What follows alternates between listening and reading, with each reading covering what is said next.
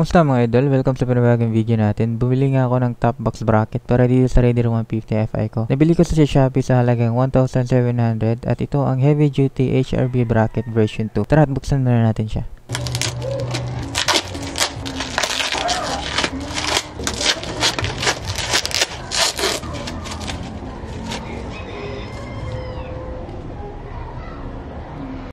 So ito na nga siya mga idol, ang heavy duty HRV bracket version 2 para sa Raider 150 Fi. Napakaganda ng pagkakagawa niya, pagkaka-welding niya, saktong-sakto lang para sa Raider 150 Fi. At safe na safe pa pagkakabalat. Meron din siyang mga kasama mga bolts, pati itong dalawang bakal na kailangan natin para mailagay dito sa Raider 150 Fi. Ngayon mga idol, install na natin siya sa motor natin. Una natin gagawin mga idol, tatanggalin natin itong dalawang bolt na nakalagay dito sa grab bar ng ating Raider 150 Fi.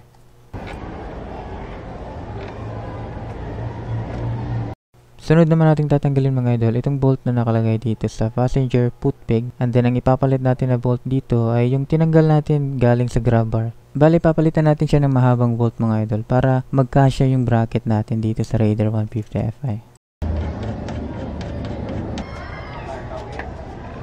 At gagamitin natin itong nut kasama sa mga bolts ng bracket mga idol. At dito natin isasabit ang pinaka bracket mismo. Bali, ito ay sa likod ng passenger foot peg. Sunod naman mga idol, itong bakal na ito ay dyan natin ilalagay sa ilalim ng grab bar. And then ang gagamitin natin na bolt ay yung pinakamahabang bolt na kasama sa bracket.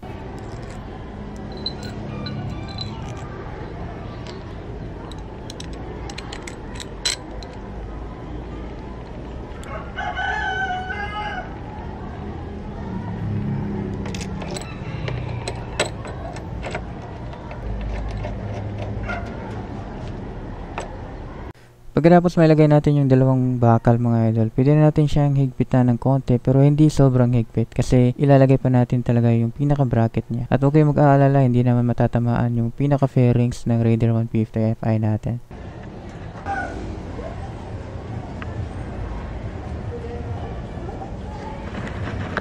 Sa bahaging ito mga idol, ilalagay natin yung washer pati yung nut para mahigpitan natin yung bracket na nakasabit dito sa likod ng passenger foot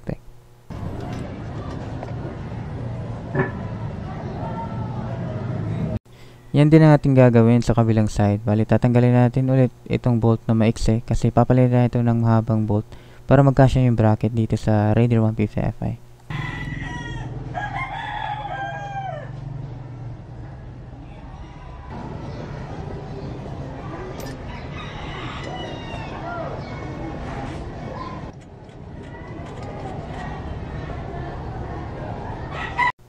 Sunod naman mga idol ay ilalagay natin itong bolt na ito para maidugtong natin ang bracket dito sa bakal na inilagay natin sa ilalim ng grab bar.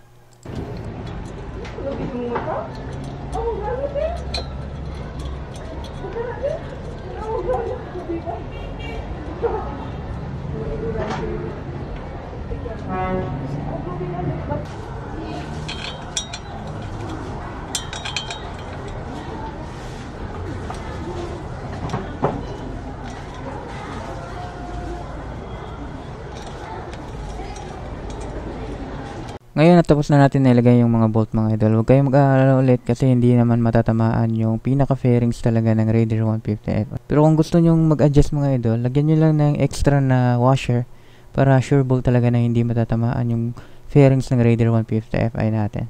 Ang tanong ng iba mga idol, kapag meron kang bracket na ito, hindi ba sasabit yung susian mo kapag bubuksan mo yung upuan sa likod?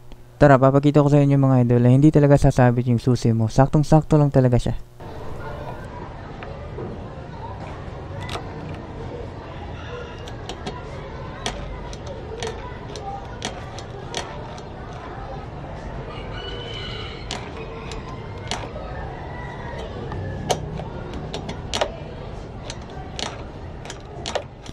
Ito na nga ang finished product mga idol kapag nakalagay na itong heavy duty HRB bracket version 2 para dito sa Raider 150 Fi. Napakaganda ng pagkakagawa ng bracket na to mga idol at panigurado yan napakatibay na ito kapag maglalagay tayo ng mga mabibigat na alloy na top box. Usapang alloy top box mga idol, ito ang napili ko ang HNG 45 liters with base plate at backrest. Maya maya lang i-review natin yan at ngayon ilalagay muna natin siya sa Raider 150 Fi ko sa tulong ng MotoZone Mania staff. Kaya salamat sa inyo mga master.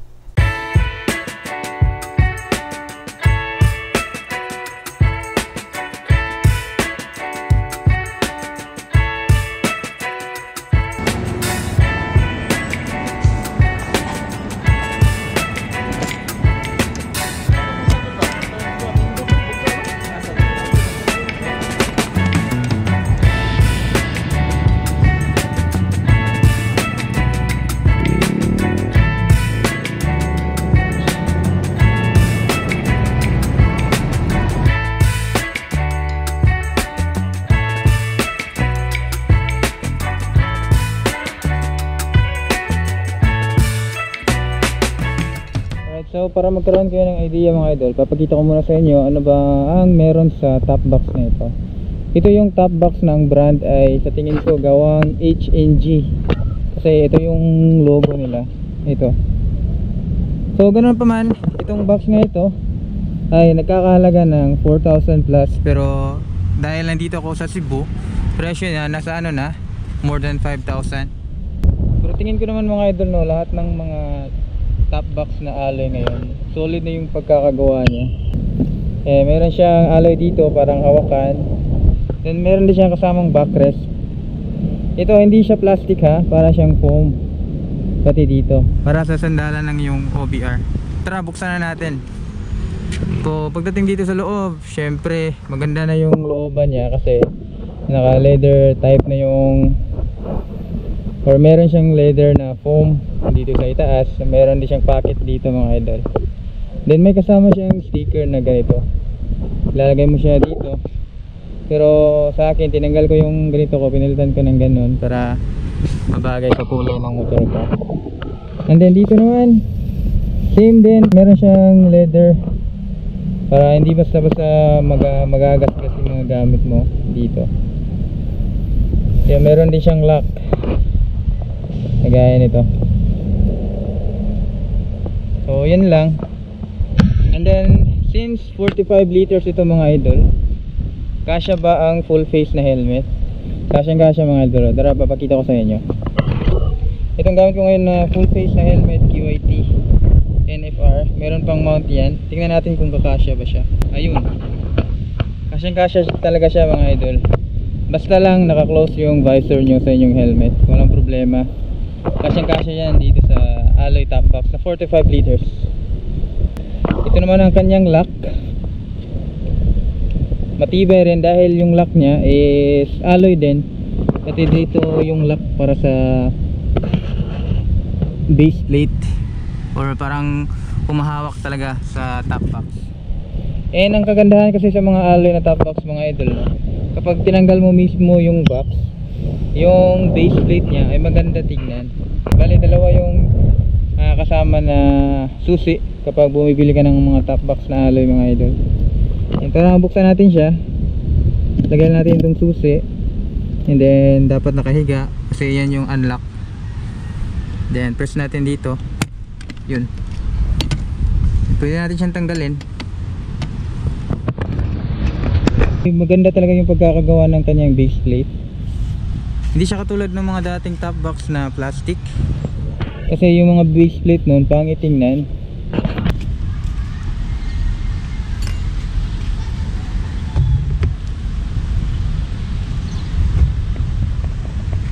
Once nalapat niya yan dyan sa loob. Eh push mo lang siya ng konti. Ganyan.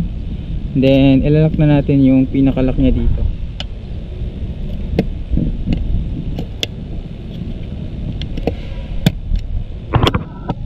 yun so naka lock na yan mga idol pero i-double lock natin siya dito. Yan.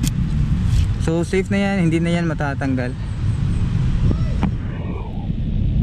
Kamustahin naman natin kung ano yung pakiramdam kapag meron kang alloy top box dito sa Raider 150 Fi syempre unang una magkakaroon ka ng dagdag bigat sa iyong motor.